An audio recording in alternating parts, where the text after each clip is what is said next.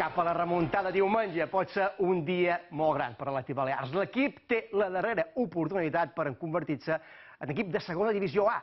Els jugadors de Mànix Mandiola han de remuntar el 2-0 de l'anada de la final del playoff d'ascens a Anduba.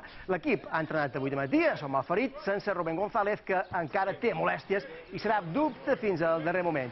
Per enfrontar-se al Mirandés, Mandiola no podrà disposar de Villapalos i Rubirola, que estan sancionats. Qui ja està recuperat es López. Habrá que dar un paso más y lo que prometo es que, el equipo lo va a dar todo y que, que, desde luego para el espectador va a ser un- emocionante seguro porque pase lo que pase eh, en ningún momento nadie va a, especular porque va a estar muy igualado, muy reñido. Aunque, aunque empezáramos perdiendo 0-2 vamos a seguir a- hasta morir. Entonces yo creo que estamos mentalizados pa- para la guerra L'Atlètic Balears ja frissa que sigui diumenge cap vespre per començar l'operació remuntada. Mànix Mandiola té ben clara quina és l'estratègia a seguir.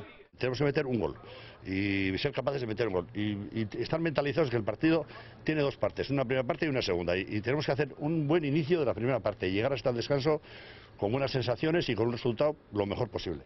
Per aconseguir remuntar el partit, el tècnic basc assegura que té l'exemple on emmirallar-se. El ejemplo claro lo tenemos aquí en, en, en Mallorca esta semana pasada. O sea, el- un resultado adverso de 2-0 y entre, entre el- el- lo que le pusieron los jugadores y, y- y la gente pues se han sacado el eliminatorio adelante y están en primera división. La gente de Somos Feliz, eh, la afición de Baleares no es menos que la, de, la, del, la del Mallorca, entonces eh, creo que estará a la altura. Mànix confessa que no signa arribar a la tanda de penals. Yo no firmaría ahora penaltis.